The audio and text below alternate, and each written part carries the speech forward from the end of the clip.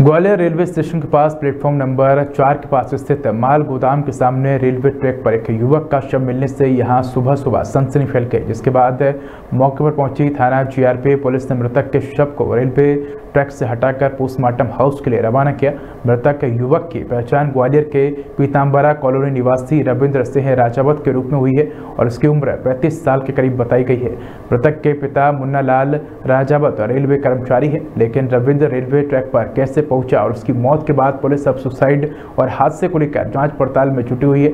थाना जीआरपी का कहना है कि मृतक के पोस्टमार्टम के बाद मौत की सही वजह सामने आएगी। फ़िलहाल पुलिस ने मर्ग कायम कर विवेचना शुरू कर दी है।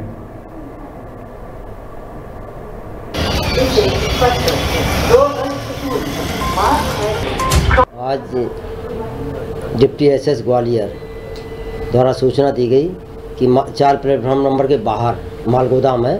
वहाँ पर एक डेड बॉडी मिली है। उस सूचना पर से प्रधान आरक्षक छः सौ पचासी विजय सिंह को एवं आरक्षक रवि सेन को जाँच में भेजा गया। क्या क्या नाम मृतक का? शनाख्त हो पाई कि नहीं हो पाई? मृतक की शनाख्त शनाख्त हुई रविंद्र राजावत उर्फ़ राम सिंह। कहाँ का निवासी है? मुन्ना पिताजी का मुन्ना लाल नाम है। उम्र पैंतीस चालीस साल का। निवासी कहाँ का पीताम्बरा कॉलोनी ग्वालियर।